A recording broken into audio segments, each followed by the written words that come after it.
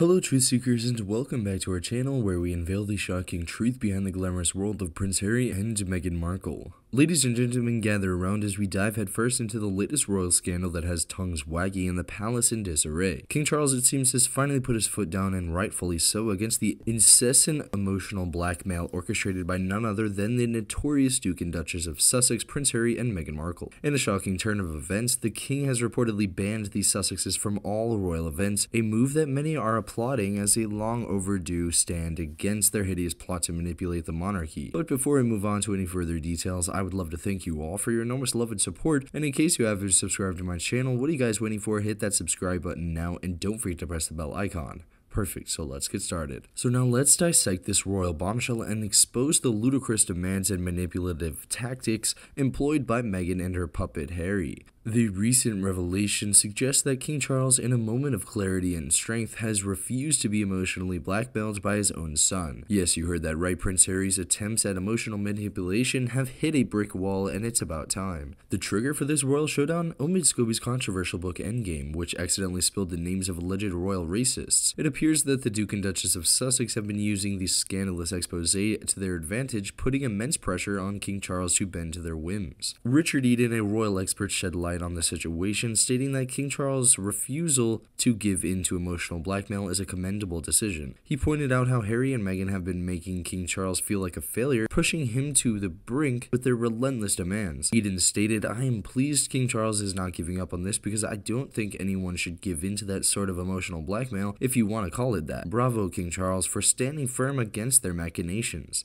The infamous phase emotional blackmail has become synonymous with the Sussexes, and it's no surprise that it left the king exacerbated. Charlotte Griffiths, the Mail's editor at large, concurred, expressing that King Charles seems to be sick of and tired of Prince Harry and Meghan Markle's games. She emphasized the importance of his decision, stating he is done being blackmailed by the emotions of naming the royal racists. In Scobie's endgame, Harry allegedly pleaded with his father, asking, Don't you want to see your grandchildren? After the Sussexes were evicted from Frogmore Cottage. The sheer audacity of such a statement speaks volumes about their manipulative tactics. It's clear that the Sussexes are not just leeching onto royal names, they're attempting to strong arm the monarchy into submission. The ban on the Sussexes from royal events is a wise move, signaling that King Charles has had enough of their emotional manipulation. It's a declaration that the monarchy won't be held hostage by their demands any longer. The people are rallying behind King Charles, hoping that this marks the beginning of the end for Meghan and Harry's disgusting plot against the royal family. In conclusion, the ban on the Sussexes is a resounding victory for those who have grown tired of their antics. King Charles, by refusing to bow down to emotional blackmail, has shown the royal family he will not be bullied. As the dust settles, we eagerly await the next chapter of this royal saga, hopeful that it brings the end to Meghan and Harry's hideous plot. So, what do you think about this news, guys? Please share your thoughts in the comments below and let me know what you think. Until then, stay tuned for more shocking stories and scandalous exposes on our YouTube channel. Remember to like, share, and subscribe to stay updated on the latest from the world of the royal family. Thanks for watching. We'll see you again with some more fascinating news about the royal family. Bye for now.